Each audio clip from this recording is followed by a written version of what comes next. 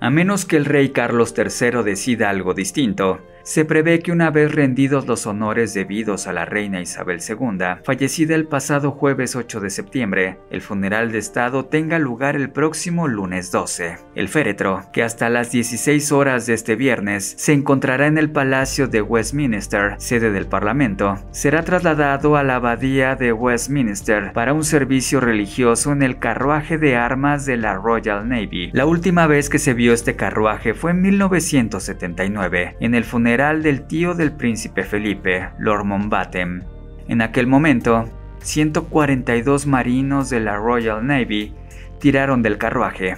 Los miembros más importantes de la familia real, incluyendo el rey Carlos III, seguirán el carruaje caminando en procesión.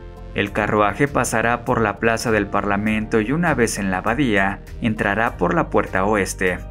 Será llevado a través de la nave y colocado en una plataforma cerca del altar mayor. Las primeras bancas serán ocupadas por la familia real y luego por los invitados, incluyendo parlamentarios, jefes de Estado, de gobierno y otras figuras. Se prevé que el servicio religioso estará encabezado por el arzobispo de Canterbury, Justin Welby, quien pronunciará el sermón. Es probable que la primera ministra Liz Truss haga alguna de las lecturas. Concluida la misa, el féretro de la reina será llevado en una procesión a pie desde la abadía hasta el Wellington Arch, en el Hyde Park Corner de Londres, antes de dirigirse a Windsor en coche fúnebre.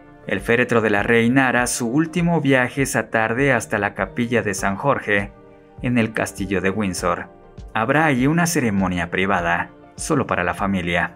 El féretro de la reina será bajado a la bóveda real antes de ser enterrado en la capilla conmemorativa del rey Jorge VI, situada dentro de la capilla de San Jorge.